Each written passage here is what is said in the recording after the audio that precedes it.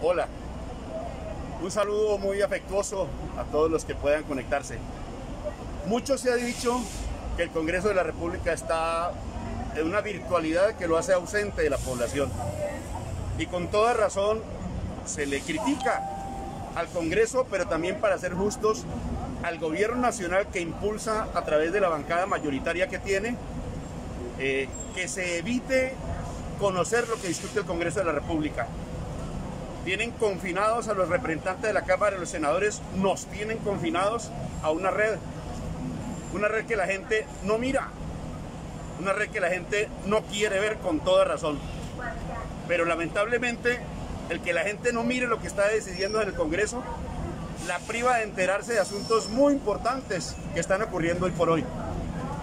Por ejemplo, en el Congreso de la República se está discutiendo que en medio de esta pandemia, que en medio de la emergencia, que en medio de la crisis económica tan brutal que está ocurriendo en el país, se han aprobado algunas ayudas que resultan a veces insignificantes, pero en todo caso casi siempre muy urgentes para la población y para las empresas.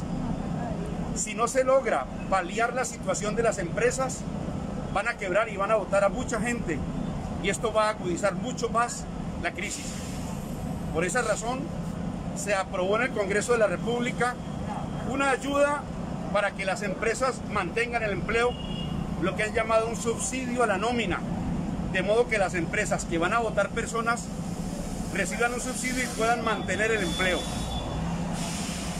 Ese subsidio no ha sido entregado de manera equilibrada para dárselo a los más pequeños, que son los que más lo necesitan, que conforman más del 90% del tejido empresarial y que adicionalmente ofrecen más del 70% del empleo. Se le está entregando a los grandotes, a los super ricos, inclusive de manera casi gratuita a una que ni siquiera es nacional, a Bianca, para favorecer a Luis Carlos Sarmiento Angulo, porque a Bianca le tiene unos deudas importantes con Luis Carlos Sarmiento Angulo.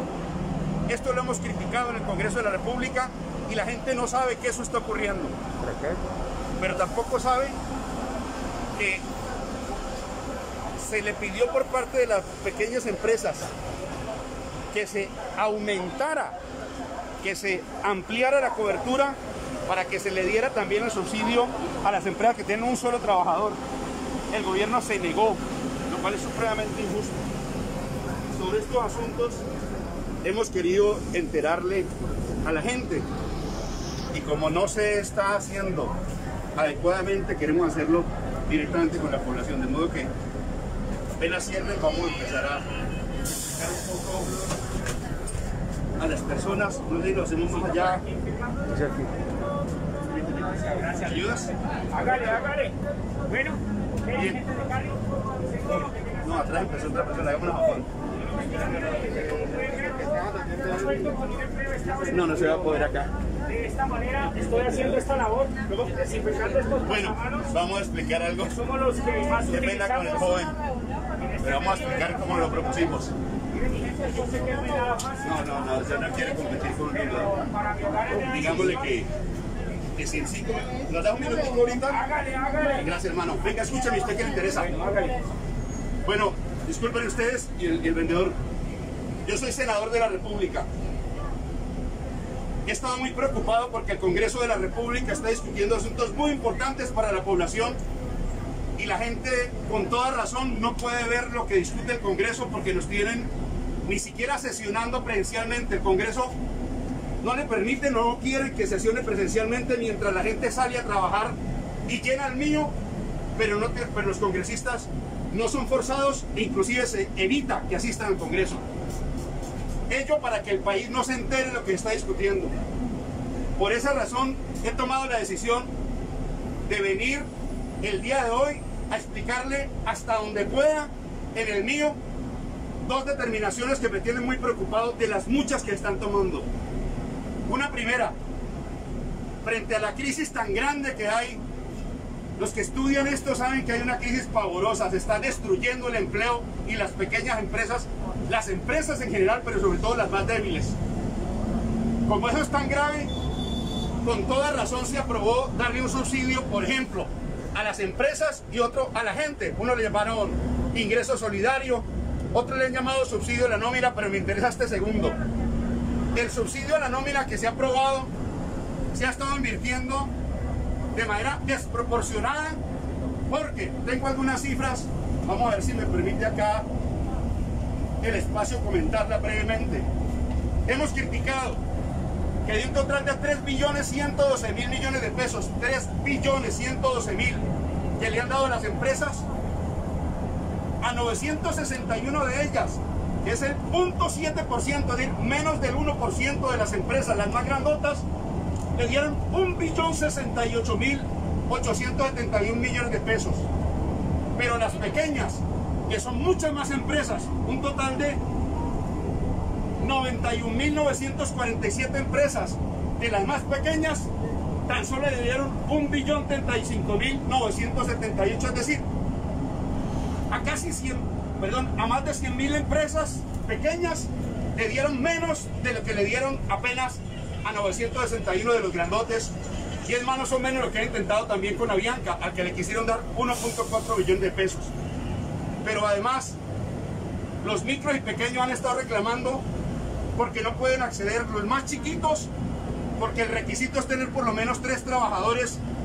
Y hay cantidades de tenderos, de cacharreros, de gente que tiene dos trabajadores, un trabajador, o que comparten con su familia el trabajo y están formalizados y no pueden acceder. Entonces dijeron que lo amplíen, que nos den también a nosotros, porque ellos aportan un importante volumen de empleo y es verdad.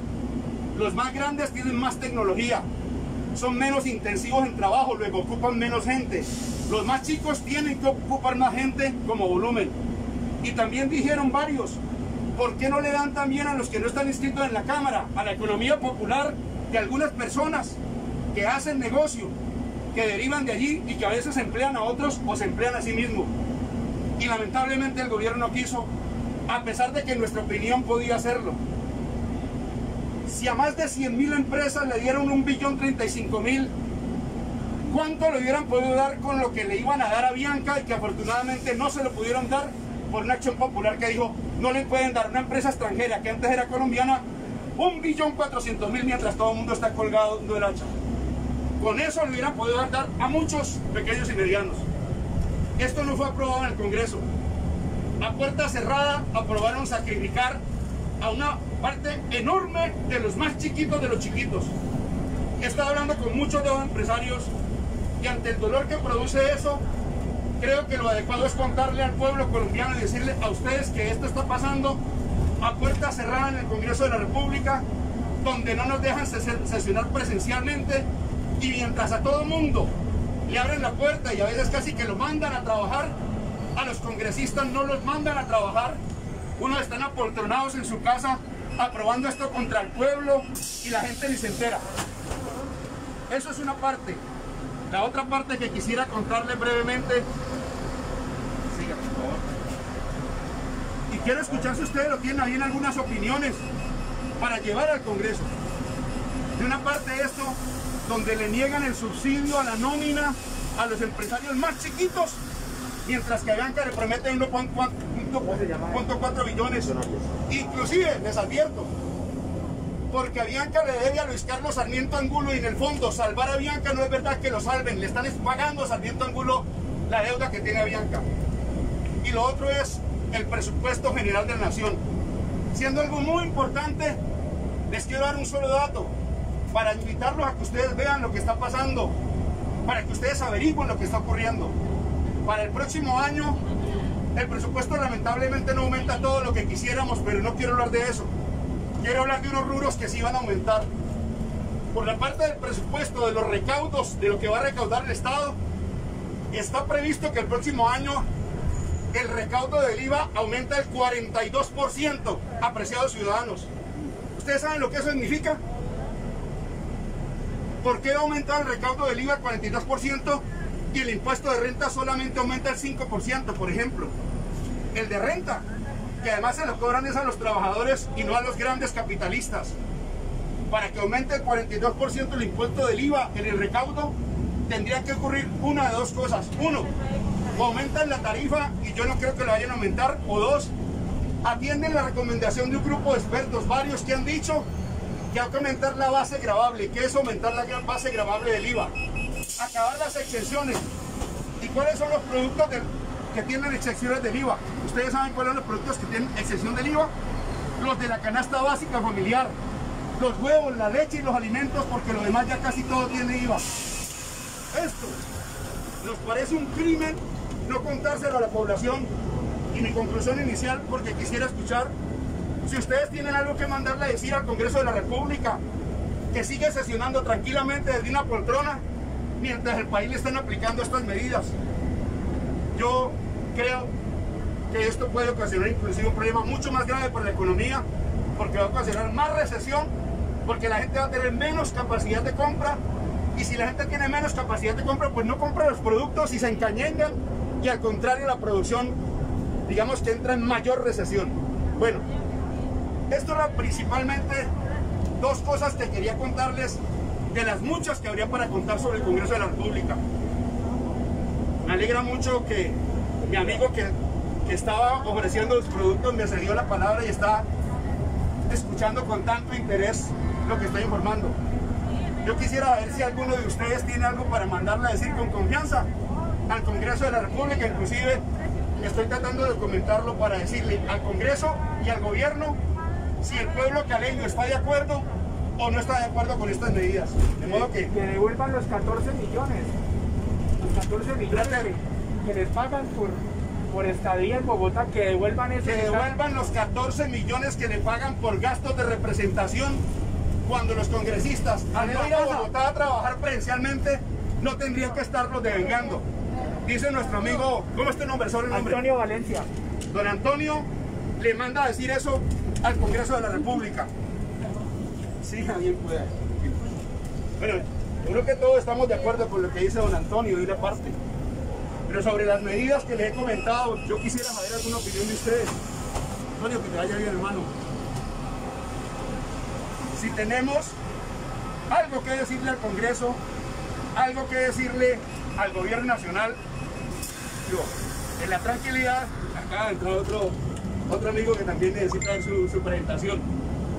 Bueno, yo... Aquí lo que necesitamos es que el gobierno nos ayude a los vendedores del vacío, a los que trabajamos, porque más de uno que tiene tres hasta cuatro casas están recibiendo un sueldo del gobierno y los de acá nos tienen, nos echaron atrás.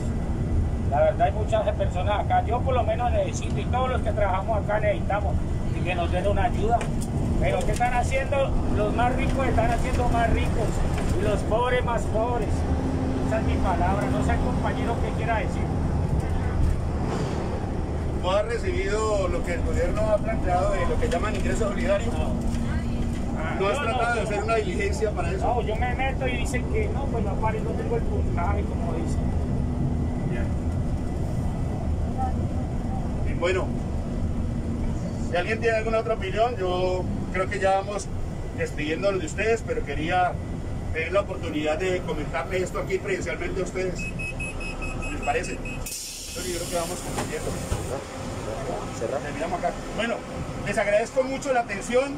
Gracias a los que quisieron dar su opinión. Y les estoy muy agradecido por haber prestado esta atención tan bello. Muchas gracias. Con permiso.